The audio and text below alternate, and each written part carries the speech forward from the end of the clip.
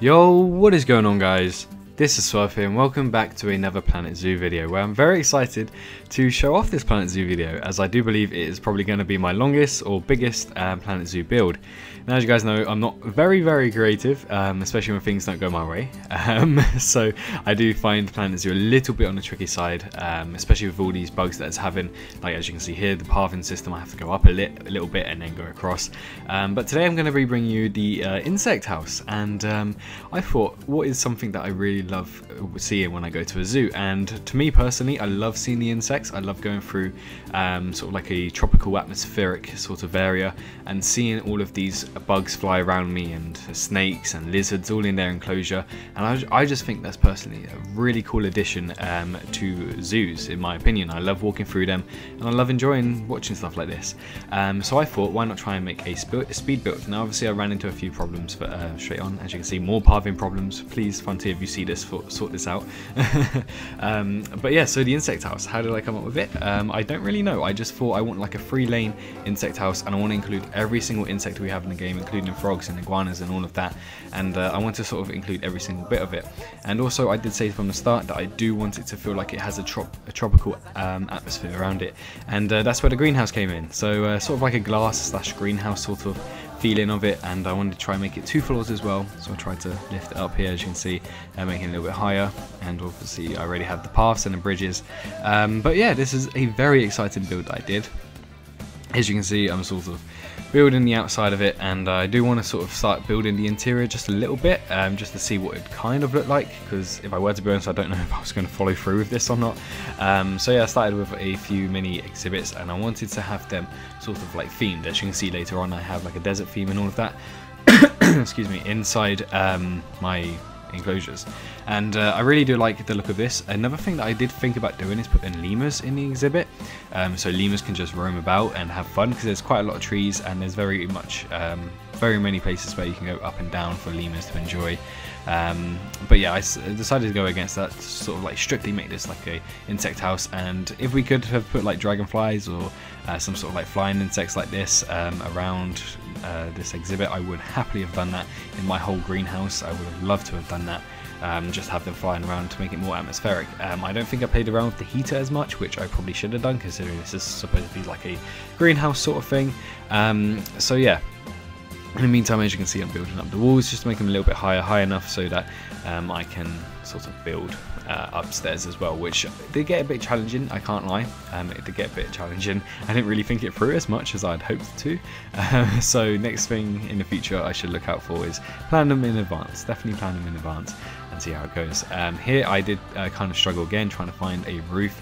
I didn't quite know what type of roof I wanted um, and I didn't really know which ones would attach to the corner so as you can see I'm still struggling, still trying to find the perfect roof and I think I do eventually. Um, there we go, yeah, so I find this as the perfect roof because um, I want a little dome area and I want it to be like a dome shape because let's be honest most greenhouses either have a corner like the small ones either have a corner off or the rest have domed off roofs.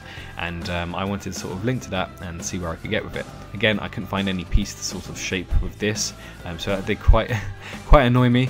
Um, so I wanted to see what it would be like having a flat roof above that and um, I did eventually do it. I don't think I showed you there, but I did eventually do it to have like a little corner drop off, um, which I thought was quite a good idea. Um, it looked quite nice. Uh, yeah, it's still not filled in, but it looked quite nice to have it there at the entrance. But now, as you can see, I'm finalising the dome, making it a lot larger, and um, pretty much going to finish the uh, exterior.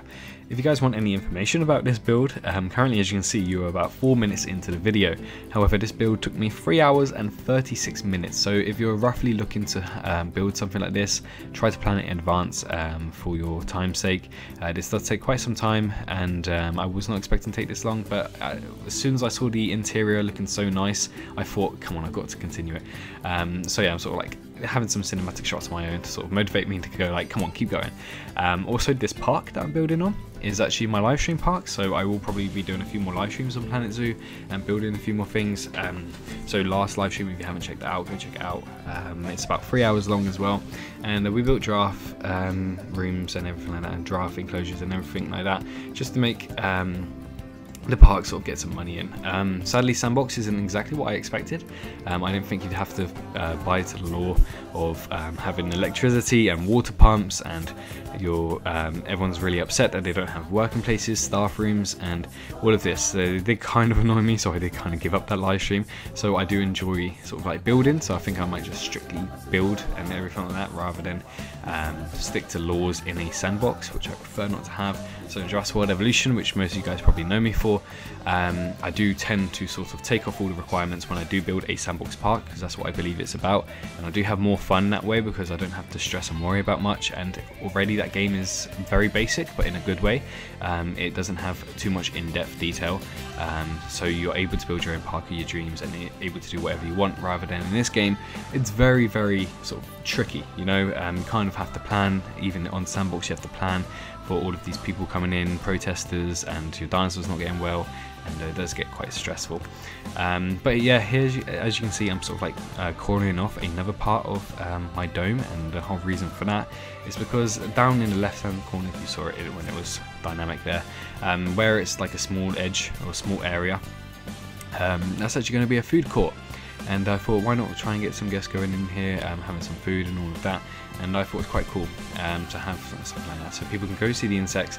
And then instead of having like insect smell and very much a big tropical vibe whilst they're eating they can go sit in a little food court and um, eventually just eat their food there and enjoy their drinks as well um, so I think I might do a few more of these um, zoos, probably a bit of live streams, a bit of um, videos, and see how they do in, in each manner. Um, probably for very long builds, I'll probably, like this insect house, I'll probably sort of make them into a video because again, it took me 3 hours and 36 minutes roughly, excuse me, roughly, and um, the giraffe exhibit I think took me about an hour or two. Um, the rest, I can't remember what I was doing for the rest, I can't lie. um, but yeah, so uh, when it's sort of like a chilled exhibit that I want to build, then I can probably do it on live stream and uh, chill and interact with you guys. But if I want to sort of focus and make a really nice thing that I'm just thinking of in my head, um, I'll happily do that um, in a sort of video like so like today. And uh, as you can see I'm sort of like decorating the boxes now and trying to make it cornered off into its own aspects. I did try to sort of keep the plants to the same level. So at the entrance I wanted it to be a bit of like pretty plants. You can see different colors and all of that. And uh, you can sort of like enjoy the vibrancy. And then eventually I made it more tropical and then more desert as you can see towards the end. But um, having this tropical vibe um, I felt was a little bit better as you can see. Um, I had a little bit of color a little bit of tropical and um, I thought it was quite cool in my opinion and I really love the look of it still to this day. Another thing that I did actually enjoy about this build um, did turn out to be the paths. I don't know if you can tell by the paths but if you focus on the paths now they sort of are like a mossy slash rundown sort of pathing system and I thought that suited very well for um, having a sort of greenhouse insect house. Um, so like if the insects do break out, which they probably won't, um, they can happily even rummage around underneath the paths and I don't know. I thought that was quite a cool addition. Um, but again, I didn't really know how many insects were in the game, so uh, you do see me make a couple mistakes. I didn't realize there was six snakes, I think there are in the game, rather than four. So I did try to make a section of fours for each um, species, but then I realized that not all species have four.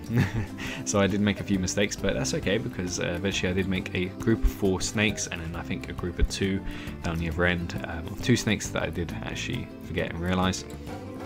Again, uh, this this game is beautiful. Um, hopefully it does get a bit more optimized. As you can see, the graphics aren't the best, although I am playing on ultra qualities, which I don't get. Um, I know it's not my PC uh, because Prehistoric Kingdom requires more specs than Planet Zoo, and Prehistoric Kingdom still runs really beautifully when I do play it on ultra graphics. Admittedly, a little bit slow frame rate wise, um, but it still runs uh, beautifully, uh, unlike Planet Zoo, where it's a bit sort of like blurry on the images. Um, and yeah, so hopefully the game does get more optimized and everything like that. Um, again, if anybody from Frontier is watching, please listen to this. Um, I do have a problem with the camera, so you'll see a few times where I have to sort of go through the entrance after I zoom out from the roof and that does get a little bit annoying. Um, so it's easy to zoom out the roof, you just scroll and zoom out, but when, when you try to zoom in, you can't zoom through the roof, which is very annoying, so I had to keep going through an entrance that I already had done and uh, go through that way. But uh, I cut that short quickly because right here I'm building probably the, the nicest thing I've built, um, and this is for frogs. Um, now personally, my mum really hates frogs, she has a phobia of frogs, so um, I was trying to sort of show her this and she had none of it. so um, yeah, so I made a nice little pond for like a frog area. And I thought it was quite a cool addition to sort of give off the vibe that you're going to see a frog. And if the frogs again do escape, they have a nice little area to sort of socialise in in this little pond.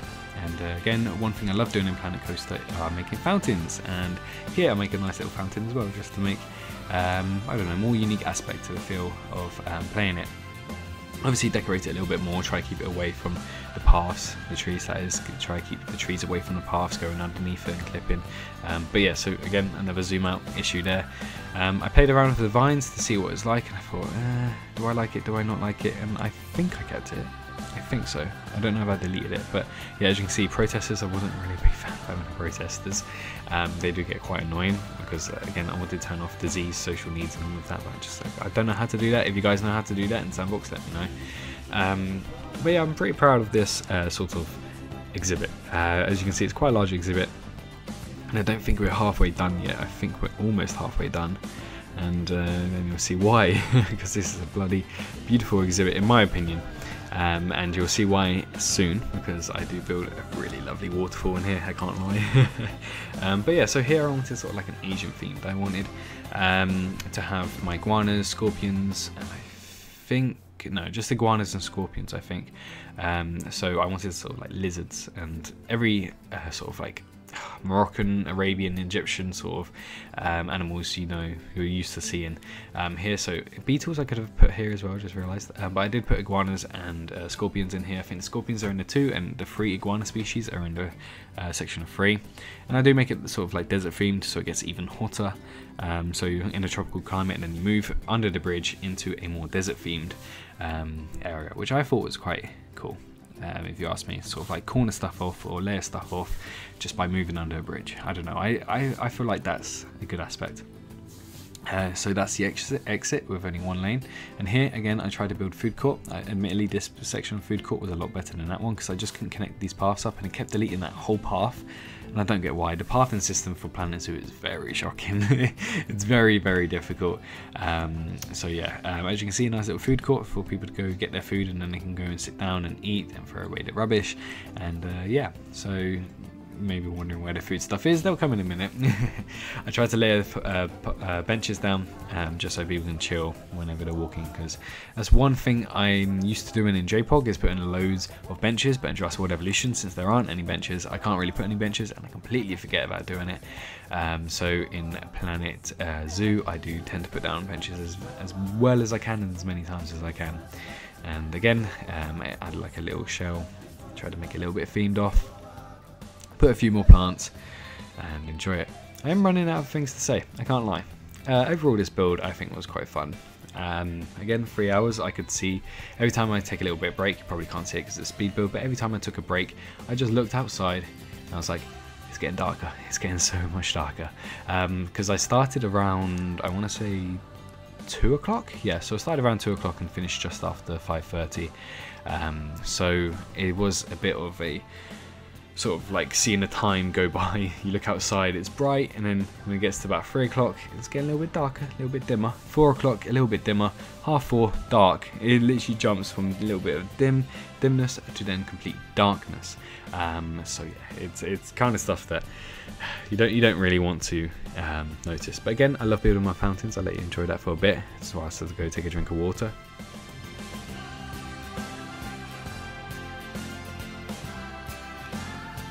But yeah, so I tried to build like another tropical fountain area. Um, I believe I wanted to put yellow anacondas in that one. So I tried to, yeah, there we go, yellow anacondas. So I tried to make um, it sort of like water themed. If the anacondas do escape, they would go there sort of thing. Excuse me. Um, but yeah, so again, snails I think is just cornered off to its own exhibit. And um, there's a few other things um, sort of like across the the globe. I'm going to call it globe, don't know why, but across the globe. Here I tried to make an upstairs. Again, I got a bit confused on this. I didn't really know how to make it. Like I know I wanted to make one, but I didn't quite know how to do it exactly. So um, try to make it as thin of an upstairs as I could possible. Um, again, I didn't want it just to be floating. It looks very unrealistic. So I tried to put like cylinders block, cylinder blocks, trying to look like it's holding up, um, which I thought was quite cool. I really like to look at that. It's sad that that bit's going through the path, but what you gonna do, eh? Um, again, put some shops here, and then I think I do a little food court as well. Um, I think so. yeah, so I bring the path around, have a little food court so people can just sort of like chill and sit up here as well and enjoy. Um, it does annoy me that that uh, Moroccan building does sort of clip the path a little a little bit, um, a little bit stressful. I can't lie, um, but that's pretty much about all I could have done. I don't know how I could have avoided it. Um, looking at the back of these buildings, I did think they looked very unnatural. Um, so I tried to make these look as natural as possible. Looking back at it, it's not really the most natural. Um, it is a little bit stressful because um, I didn't really think it through. Uh, I should have probably thought it through a bit more and looked at a few more tutorials. So trying to make it look more natural, I put a few of vines swinging down so it looks like it's overgrowth and it's actually supposed to be like that um, rather than look, making it look like real crap, you know? Um, but yeah, so I think we're coming towards the end of the speed build. Obviously, I think for you guys, you've got about five to seven minutes long, depends how edit this, probably about five to seven minutes more. So I'll probably put a bit of background music as I finish off building this gorgeous waterfall. As you can see, start building it. Um, I learned this from building it from my um, giraffe exhibit. If you saw my live stream, I learned how to build waterfalls quite nicely.